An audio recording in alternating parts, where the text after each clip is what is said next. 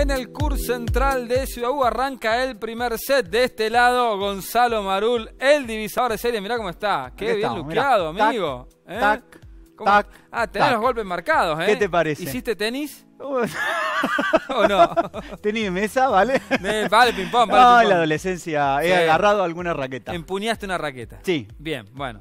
Eh, todo nos lleva al tema que traes para desarrollar hoy, querido amigo. ¿eh? Traigo una miniserie muy cortita, tres capítulos, que la pueden encontrar en Star Más, pero Sí. que es de la National Geographic, Ajá. que se llama Guillermo Pérez Rolán Confidencial.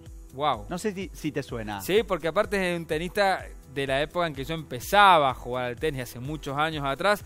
Quizás con Martín Heiter los dos tenistas más importantes de la década del 80 que tuvo Argentina. Exactamente, un tenista muy importante, también muy, muy de las revistas, Sí. un Ra- tipo... Rocky le decían, ¿te le acordás? decían Rocky, un tipo muy lindo, muy, muy, muy codiciado por el universo mediático, y que uno, bueno, lo tiene como un gran tenista de la época. Llegó a ser 13 del mundo el tipo. Llegó a ¿eh? ser tres del mundo, ganó dos Roland Garros en juveniles, En dos seguidos, junior, un tipo importante en el tenis. Repentinamente aparece esta miniserie documental donde él cuenta cómo su padre lo violentaba físicamente y psicológicamente y uno se queda mudo. O sea, está bueno esto que contás, Gonza, porque no vamos a hablar de la carrera de él, sino la historia de él con su padre, que era su entrenador, además, ¿no? Era su entrenador, era el director de la escuela de tenis de Tandil, donde han salido tenistas como Zabaleta, Claro. Franco Davín, el mismo del Potro, Mariano Puerta, creo que salió Mariano ahí Puerta, también. no sé si el Pico Mónaco. También estaba la hermana de él, Mariana Pérez Rolán, Ujú. que también era tenista. Y vamos a ver un poco que a lo largo de ese recorrido, el problema principal que tuvo Guillermo, que testimonia con sus 52 años eh, ante la cámara en este documental de tres partes, media hora cada parte, nos va a contar cómo sufrió durante todos esos años una presión psicológica pero física terrible. Hay momentos donde él cuenta que después de haber ganado tres partidos entra al hotel y el padre lo recibe con una trompada en la cara y un diente se le incrusta en el paladar.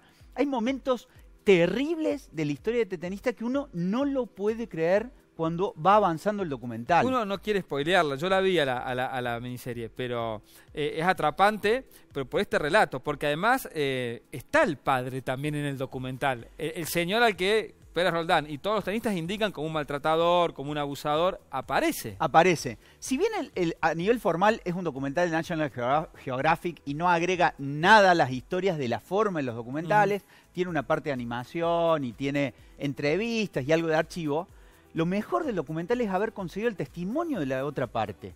Que uno dice, bueno, ¿qué va a decir esta otra parte? Y el tipo aparece muy tranquilo, pero muy tranquilo, negando todo.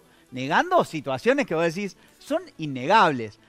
Pero hay un momento en toda esa negación donde él dice debería volver la colimba, el, el- el- el servicio, militar, Hace una obligatorio. oda al servicio militar. Hace una oda y entonces vos decís, bueno, no sé hasta dónde te estás negando Claro. que realmente habías eh, realmente violentado a tu hijo. Y todos los testimonios son coincidentes, porque aparte aparecen tenistas, aparecen periodistas, que dan cuenta de cómo se naturalizaba la violencia de parte de este señor que era entrenador en esos tiempos donde se hablaba de lo deportivo, pero esto que pasaba por detrás y que lo conocían todos, nadie lo decía. El capítulo 2 se llama Los socios del silencio. Claro. Entonces, claramente, uno de los mayores problemas es que todo el mundo veía, por ejemplo, dicen que él se cubría, cubría los golpes, cubría los latigazos que le da el padre en su cuerpo con ropa. Todos sabían que pasaba, es más, el mismo Zabaleta en un momento dice que está al borde de defenderse con la raqueta y pegarle un raquetazo a este en- entrenador.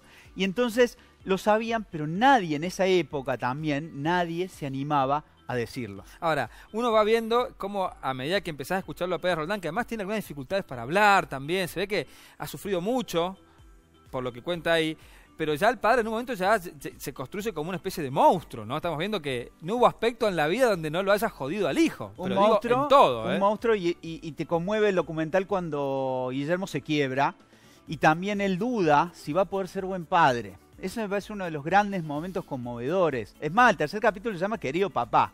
Y, es- y hay un grado de ironía, ¿no? Porque hay un intento de Guillermo de volver a encontrarse con ese padre, pero bueno, eh, lo- la duda de él, al haber sido papá, él acaba de tener un bebé, dice, no sé si voy a poder ser buen padre. Y eso realmente te, te hace mal. Y pone un ojo, un ojo sobre un tema de que en el deporte es muy recurrente, estas cuestiones de los hijos, quizás muy talentosos para un deporte, pero unos padres que son una influencia importante, pero terminan siendo contraproducentes, tóxicos, o incluso en el caso de Guillermo Perroldán, que le arruinó literalmente la carrera. Estuvo a punto de suicidarse y lo cuenta en el documental. Así que eh, lo recomendamos por eso, porque es un contenido que vale la pena que se exponga para, que e- para saber que en el deporte existen estas situaciones. Bueno, ¿te vas a jugar? me tengo que ir a jugar, ¿Te ¿sí? vas? así que se me Eh. hace tiempo, si me permitís, Te- voy a parar. Ahí voy. ¿Sí? ¿eh? ¿Te, la, me te la- cargo. te la alcanzo? Por favor. Agarrala. Ahí está, mira, tac, tac, tac, tac. Qué grosso. tac. Un random.